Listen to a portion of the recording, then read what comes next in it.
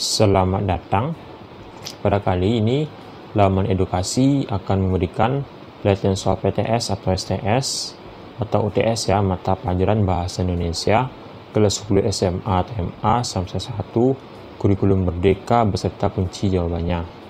Oke, sebelum kita mulai jangan lupa klik tombol subscribe dan untuk latihan soal mata pelajaran lainnya, kamu bisa cek ya di bagian deskripsi. Di situ linknya sudah ada. Dan mari kita mulai latihannya. Abstraksi merupakan bagian awal paragraf yang berfungsi memberikan gambaran tentang isi teks dan biasanya menunjukkan A. Latar belakang peristiwa itu terjadi B. Hal yang tidak biasa terjadi pada tokoh cerita C. Tokoh cerita menyelesaikan masalah pada bagian krisis D. Kesimpulan mengenai kejadian yang terjadi pada tokoh cerita. E. Hal yang unik. Maka jawaban yang benar adalah E. Hal yang unik jawabannya.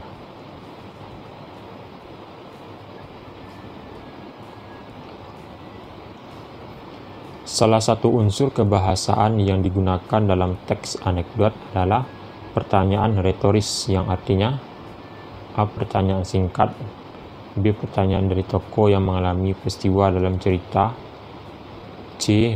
Pernyataan umum dari peristiwa E. Pernyataan khusus dari peristiwa E. Pertanyaan yang tidak memerlukan jawaban maka jawaban yang benar adalah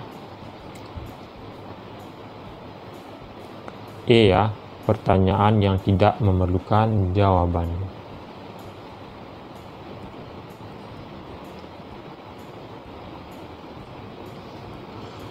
Berikut ini termasuk langkah-langkah yang harus dilakukan dalam menganalisis teks anekdot kecuali A. Memahami teks anekdot dengan baik B. Menganalisa struktur teks yaitu memisahkan bagian abstraksi orientasi, krisis, reaksi, dan koda. C. Menemukan kata kias, konjungsi, kalimat retoris jika ada. D. Membaca teks dengan cepat. E. Membaca teks anekdot dengan seksama anekdot. Maka jawaban yang benar adalah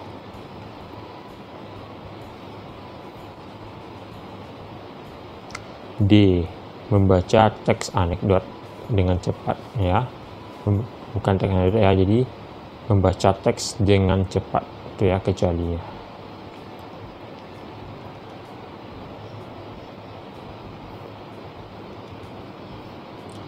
Anekdot adalah cerita singkat yang menarik karena lucu dan mengesankan. Biasanya mengenai orang penting atau terkenal berdasarkan A. Cerita fiksi B. Hasil observasi C. Kejadian yang sebenarnya D. Wawasan yang luas E. Penelitian di lapangan Maka jawaban yang benar adalah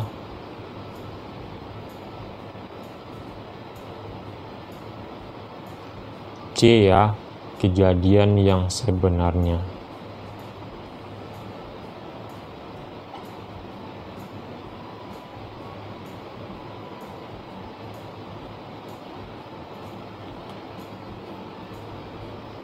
Bagian dalam teks anekdot yang memunculkan hal-hal atau masalah yang unik atau tidak biasa yang terjadi pada si penulis atau orang yang diceritakan adalah A. Krisis B. Koda C. Konklusi D. Abstraksi E. Orientasi Maka jawaban yang benar adalah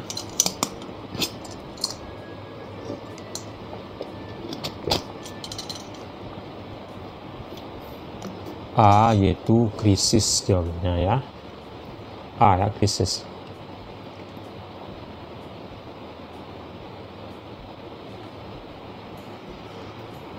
Pengarang membawa pembaca ke dunia khayal atau imajinasi yang serba indah. Nah, pernyataan tersebut merupakan salah satu ciri hikayat yang berarti A. Bersifat pralogis B. Menggunakan bahasa klise C. Istana sentris D. Magis E. Anonim Maka jawaban yang benar adalah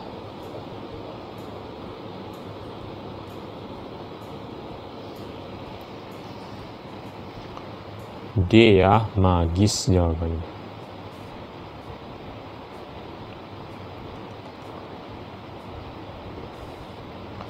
Jika dilihat berdasarkan nilai historisnya, dalam sastra Melayu atau hikayat dapat dikelompokkan dalam tiga jenis.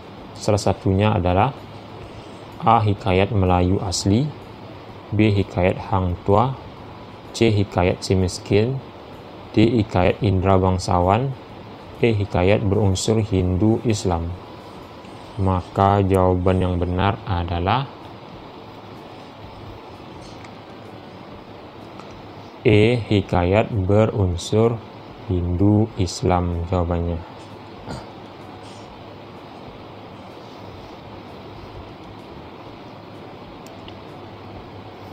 Dalam karya sastra kita mengenal dua unsur yaitu unsur intrinsik dan unsur ekstrinsik. Nah, unsur intrinsik adalah A.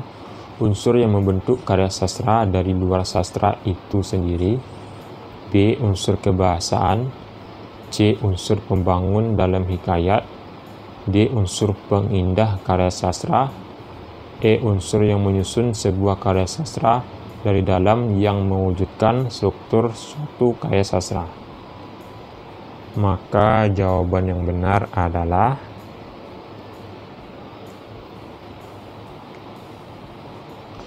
E ya, unsur yang menyusun sebuah karya sastra dari dalam yang mewujudkan struktur suatu karya sastra.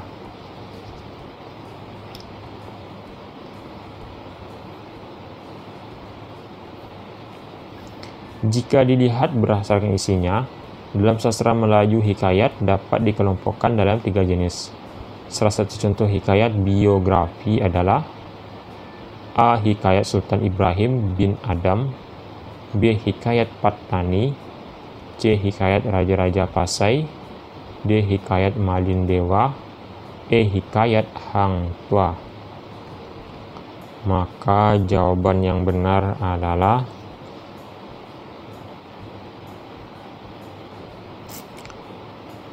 A. Hikayat Sultan Ibrahim bin Adam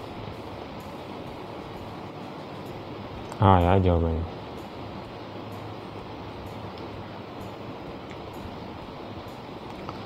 Beragam jenis hikayat yang ada saat ini dikemukakan dalam buku-buku berikut kecuali A. Buku cerita anak-anak B. Buku pelajaran C. Buku-buku legenda Melayu D. Buku-buku sastra E. Buku-buku Islami. Maka jawaban yang benar adalah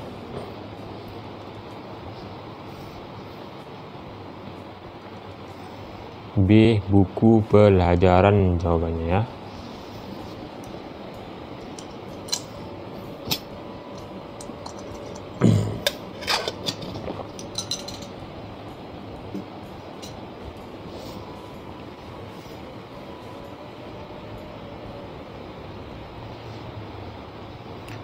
Kalimat berikut yang termasuk unsur lucu, konyol, jengkel dari tes anekdot adalah A. Perhatikan kehidupan orang miskin B. Kesenangan sesaat akan menghancurkan masa depan C. Di sebuah desa tinggallah seorang ibu dan anaknya D. Ibu yang memuji tindakan anaknya yang salah E. Katakanlah hal kebenaran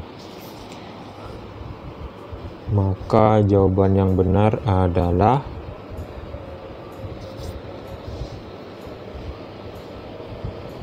D ya, ibu yang memuji tindakan anaknya yang salah. Oke, itu jawabannya ya. Oke, kita lanjut.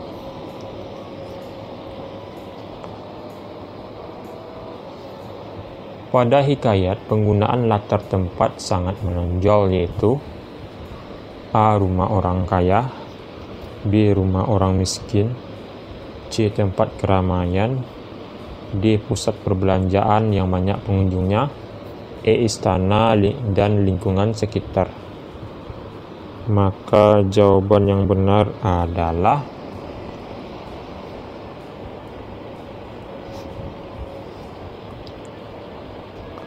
E ya, istana dan lingkungan sekitarnya. Itu ya, E jawabannya ya. Oke, kita lanjut.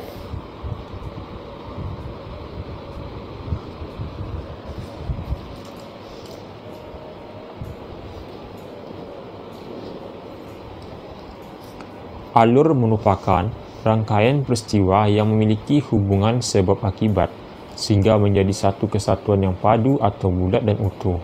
Alur tersebut juga titik-titik. A. Penokohan B. Dialog C. Plot D. Amanat E. Setting Maka jawaban yang benar adalah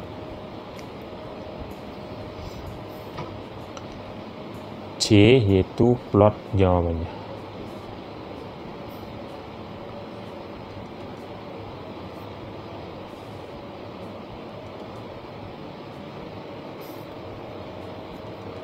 Berikut ini termasuk langkah-langkah yang harus diperhatikan dalam membuat teks anekdot kecuali A. Ide cerita yang paling sederhana adalah dalam bentuk tanya jawab yang jawabannya aneh dan bisa membuat pembaca tertawa.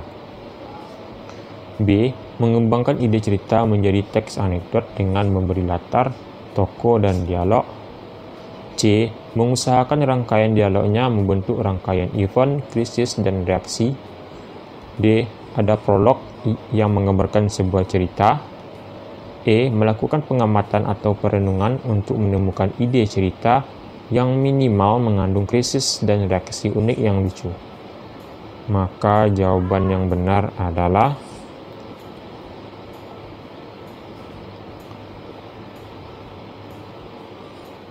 Dia ada prolog yang menggambarkan sebuah cerita.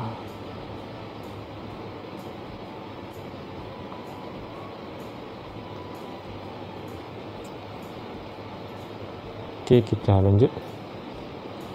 Teks anekdot tidak hanya berisi tentang peristiwa-peristiwa menarik, konyol, dan menjengkelkan, tetapi juga berisi tentang A. Satu fakta B. Realita kehidupan C. Opini dari para tokoh D. Kehidupan tokoh penting E. Ungkapan suatu kebenaran yang lebih umum Maka jawaban yang benar adalah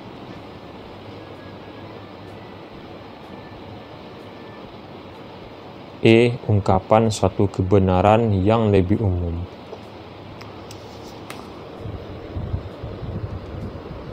Oke, kita lanjut ya soal selanjutnya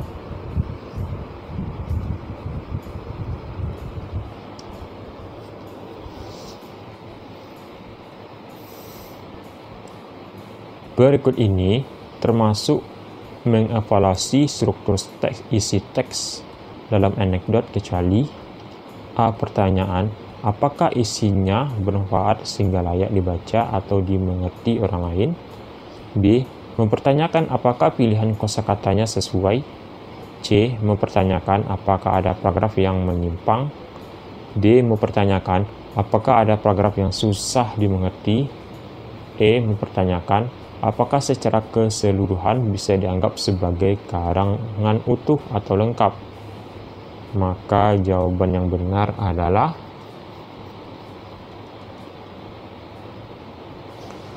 B ya. Jawabannya B yaitu mempertanyakan apakah pilihan kosakatanya sesuai. Gitu ya jawabannya.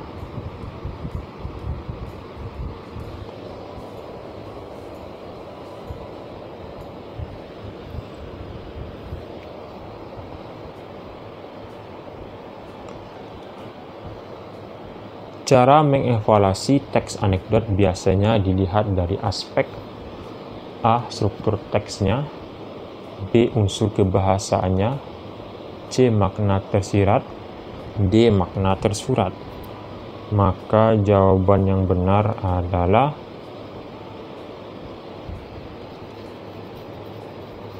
C. Makna tersirat jawabannya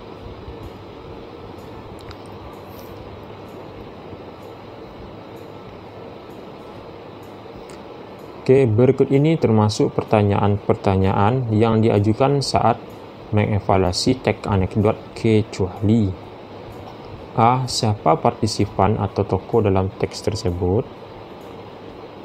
B. Siapa yang kita sindir? C. Siapa runtutkah, sudah runtutkah rangkaian peristiwanya?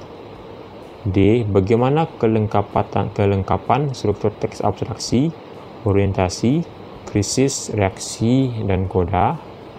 E. Apa yang dilakukan? Oke, maka jawaban yang benar adalah E ya. Oke, apa yang dilakukan itu ya kecuali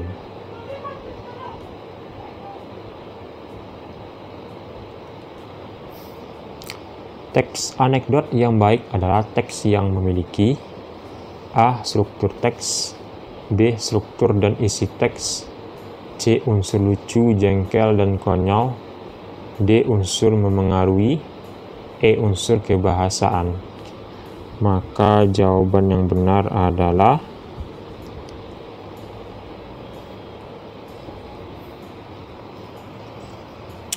C ya, unsur lucu, jengkel, dan konyol.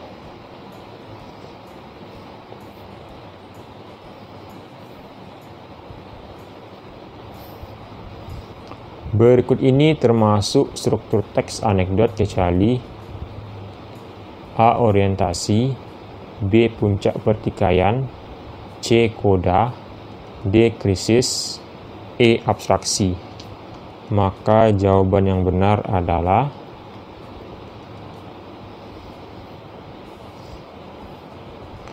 B ya, puncak pertikaian jawabannya.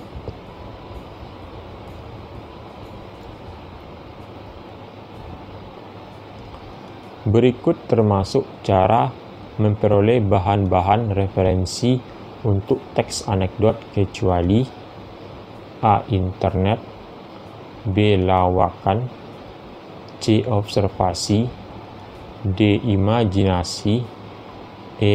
Koran Maka jawaban yang benar adalah D. Imajinasi jawabannya.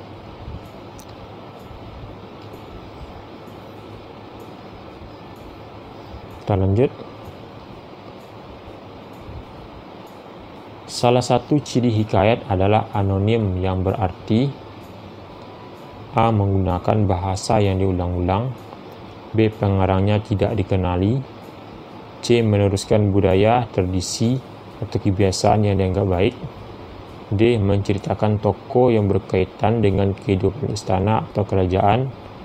E. Mempunyai logika tersendiri yang tidak sama dengan logika umum. Ada juga yang menyebut fantastis. Maka jawaban yang benar adalah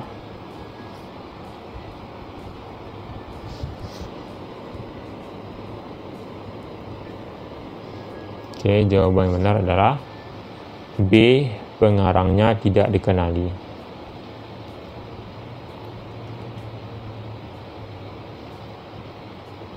Berikut ini termasuk bagian yang ada dalam teks anekdot kecuali A. Krisis B. Reaksi C. Analisis D. Koda E. Orientasi Maka jawaban yang benar adalah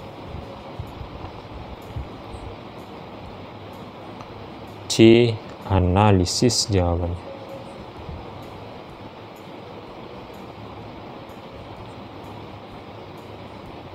Perhatikan kalimat berikut. Di sebuah desa, hiduplah seorang janda dengan anaknya. Hari ini tidak ada kepulan asap di dapur.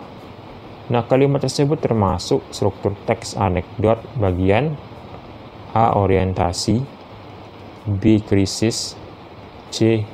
Reaksi D. Koda E. Abstraksi Jawaban yang benar adalah E. yaitu abstraksi jawabannya.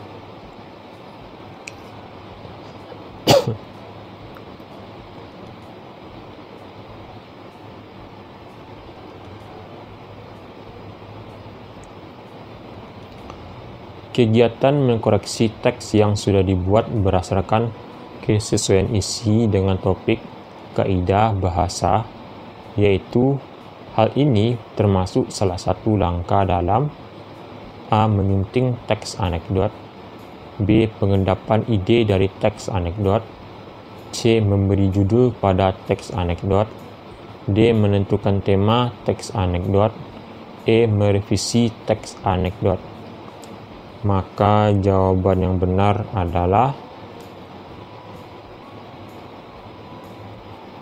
A ya, menyunting teks anekdot jawab.